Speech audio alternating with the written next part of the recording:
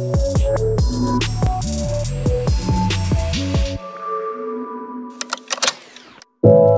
right, good morning. Today I'm going to show how to um, take the photos that you took, put them together in Photoshop Mix to create the uh, composited image for uh, the name and the word of your choice. So let's uh,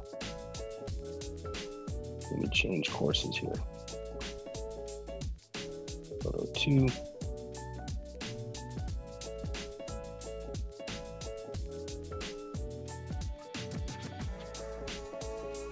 Here we go. So this was what we are, we're working on this week, alphabet photography one and two. The first one was your name. The second one is a word of your choice. I'm only going to do the compositing with one word and then you'll, you know, you'll have to do both. But for those who may have missed what this assignment is, you had to go out and take photos of things that when you manipulate the image, whether that be turning it or just zooming in really close, getting really close to something like a fence here makes the letter C. Uh, let me annotate. There we go. Or this, you know, line of rocks creates the letter R. The telephone pole here for the letter T. These branches for the letter A. Right, and when we put it all together, it makes a word. And for this one, the word is create. Um, so you were supposed to go out and find images that have letters. And one of those words needed to be your name. The other one needed to be a word of your choice that just was school appropriate. Um, so I'm going to show how to put those together today in Photoshop Mix. Adobe Photoshop Mix is the app. And then we'll turn that in along with updating our uh, Adobe Spark page portfolio. So again, the app is Photoshop Mix, and we're going to use that to composite images together. So let's do that. Share my iPad screen. To get started in Adobe Photoshop Mix, which is this app right here.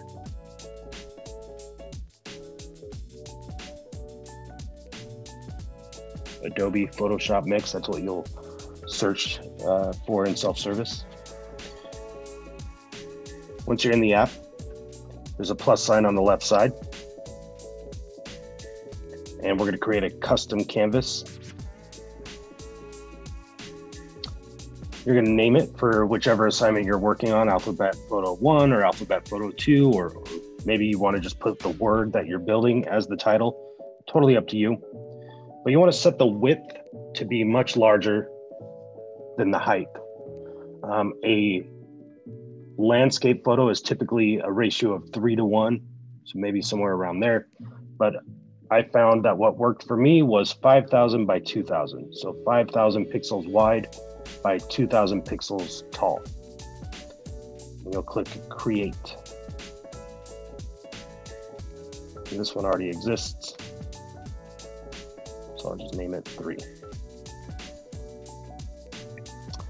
And this is what you will be greeted with once you've created your canvas. So you'll hit this plus sign on the right side, and we're gonna add the images that you took for each letter of whichever word you're spelling. And so this is my M.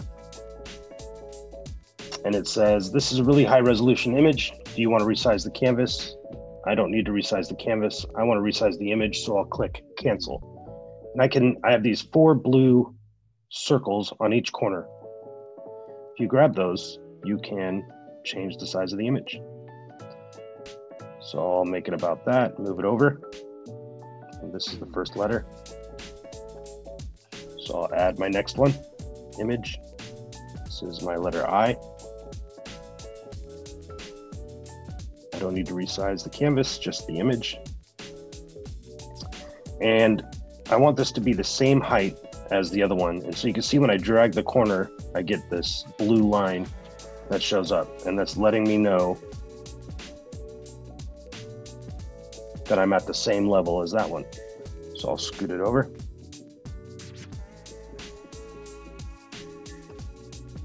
And I'm just gonna keep on going. Next image will be my letter T. Cancel. resize, and put it where it goes.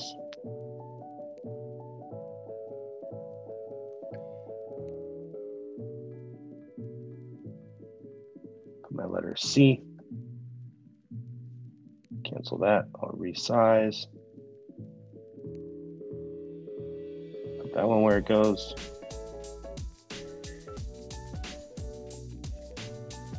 And I can already tell that I'm going to run out of canvas at this point. So I could either go in and resize each and every single one of these images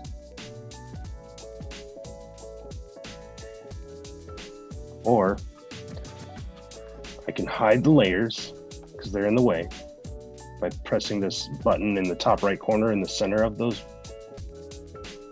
The two layers there on the top left corner, the second button there, it's like a square.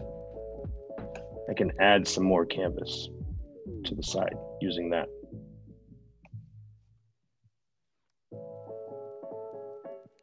And make sure that everything is on my canvas. And then hit the check mark in the bottom right corner. I'll turn the layers back on and press the plus sign and get my last letter the last image, the letter H. I don't need to resize canvas, just the image. And put that in its place.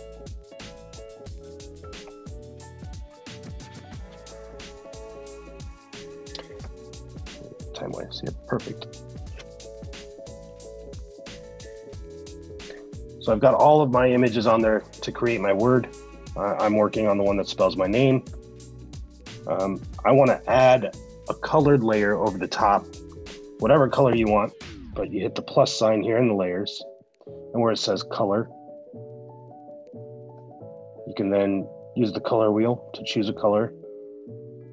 You could also go with the RGB selector where you change the values of each color. And CMYK, cyan, um, magenta, yellow, and black. But I like the color wheel myself. So maybe this time I'll go with an orange.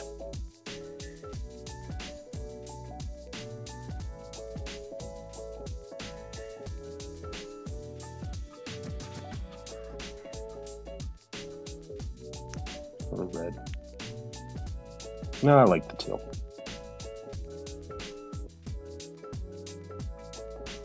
But I can see that I have made these a little dark. So I'm going to go back into my RGB and fix this a bit.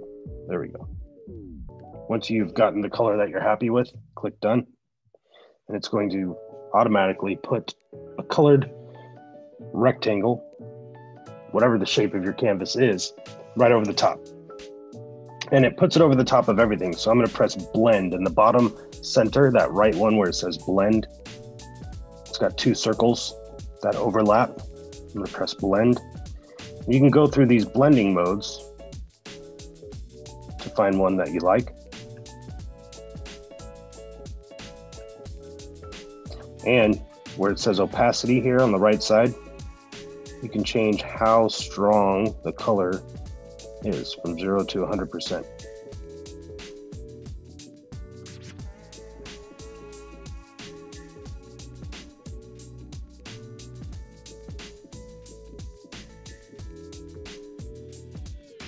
Go with this one. So I'll press the check mark in the bottom right corner once you're done. Check mark. I need to trim off all these extra edges.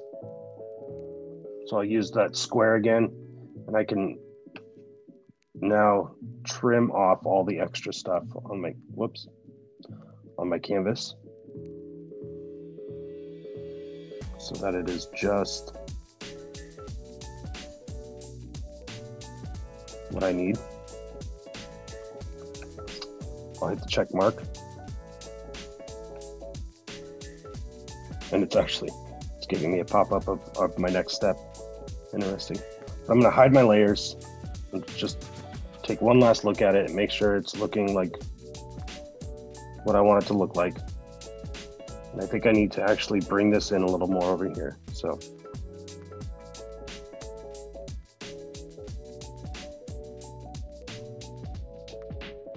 There we go. All right. So you're all done. The top right corner, there's a square with an arrow. That square with the arrow is a share button. Um, so we want to press on that one and we're going to export this to the camera roll, the camera roll on the iPad. So send to camera roll.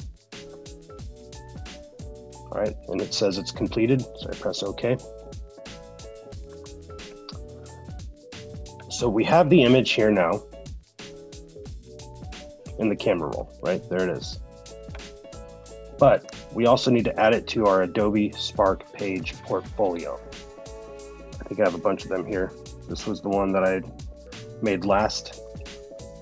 So you can go back to, right, your page where you, you click on my pages in the bottom right corner, bottom right corner, my pages, select the one, the one you're working on for this class, scroll down and underneath the last thing we did, it's probably better to have the title above the images. I think that will look better. So text, make it a heading, alphabet.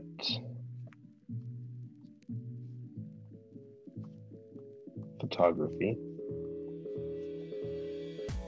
Why it won't let make that a capital?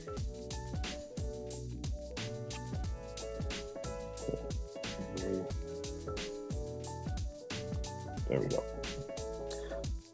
Center it. There's the two images and then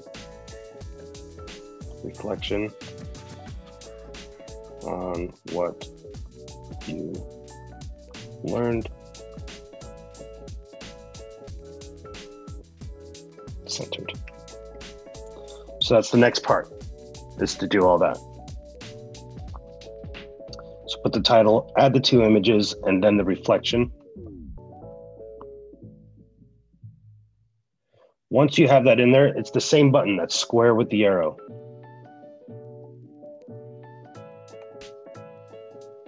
You wanna make sure that this clipboard here is blue, not one of these other items. And click Update Public Link.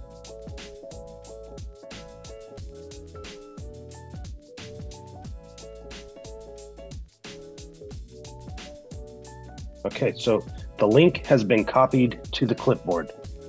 That means it's as if we've highlighted it and copied it.